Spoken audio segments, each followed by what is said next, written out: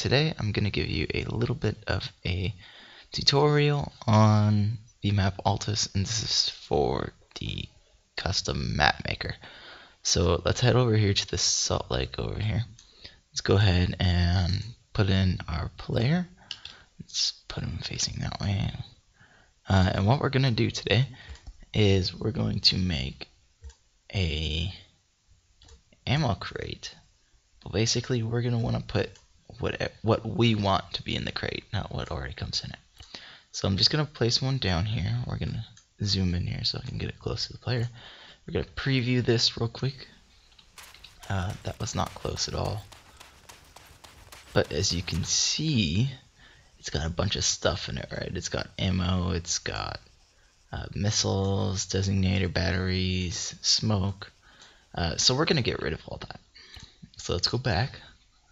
Move this a little bit closer. And we're going to copy this line of code.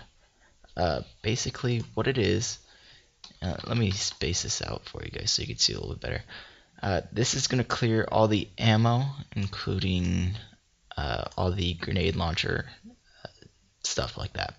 Um, and then here it's going to be weapons, obviously weapons like uh, I think there was an MXM in there or something like that.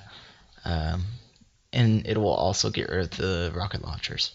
Uh, clear item cargo would be like the laser designator and the batteries for that and yada yada yada. And what you're going to see here is this for every single one. Uh, if I were to name this box 1, I would have to change this to box 1. That's how that works. Uh, but since it's a lot easier just to say this, I'm going to leave it as this. So I don't have to go to name it and post it in here. So there it is. Let's preview that real quick. There should be nothing in the box. It's still pretty far away. Okay, so there is nothing in the box. Let's put my MX in there. Yeah, now I don't have a gun. Uh, I do, I have a pistol.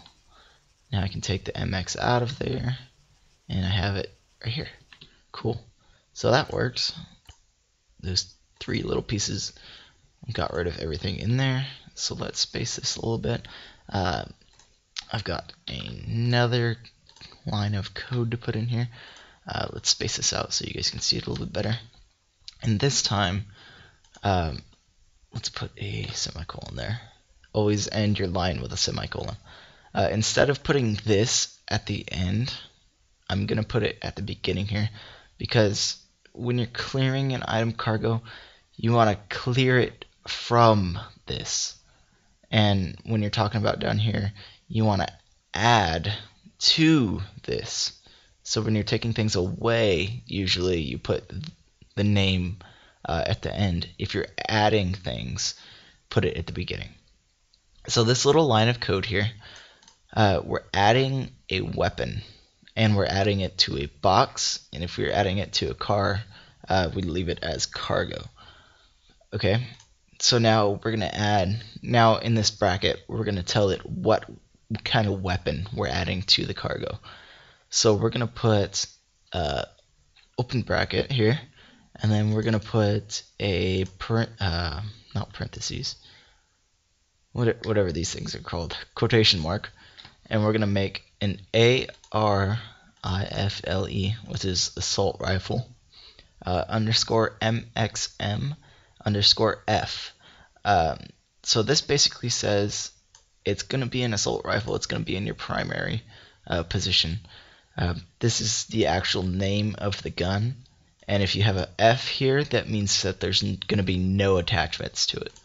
Uh, you can add stuff to that, but that's a whole nother video. Uh, you're going to end it up with a quotation mark there, uh, a comma, and then the number of how many of these guns that you want to be in the crate. So I'm going to leave it at 2. So we're going to add two MXM assault rifles without any attachments. So let's go ahead and check that out. Oop. Let's go in here and look, there they are. We have two MXM assault rifles. So, thank you guys for watching. That has been adding and taking away cargo from uh, like supply boxes and whatnot. Uh, here's the code again if you need it, uh, but it's also going to be posted in the description down below here somewhere. Uh, it's also going to be on a website. It's an Enjin website. It's for the Fighting 13th. There'll also be a link down there for you. Uh, go ahead and check us out. Check us out. It's a pretty cool gang to be a part of. Uh, we do pretty much Arma 3 and whatnot. So you should have fun with this. So that's it, guys. Thank you for watching, and we'll see you next time.